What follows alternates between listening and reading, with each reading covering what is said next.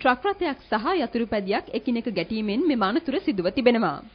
ඊයේ සවස ගාල්ල නාගොඩ වලකුඹුර ප්‍රදේශයේදී මෙම අනතුර සිදුව ඇති බවයි අද දෙරණ වාර්තාකරු සඳහන් කළේ.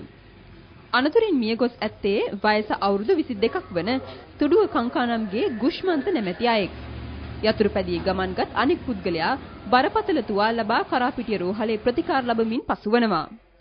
ට්‍රක් රථ රියදුරුගේ නොසැලකිලිමත් ක්‍රියාදාවනය මෙම අනතුරට හේතු වී ඇති බවයි වාර්තා වන්නේ. ට්‍රක් රථ රියදුරු මේ වන විට පොලිස් අත්අඩංගුවේ පසුවන අතර සැකකරු අද බද්දේගම මහේස්ත්‍රාත් අධිකරණයට ඉදිරිපත් කිරීමට නියමිතයි.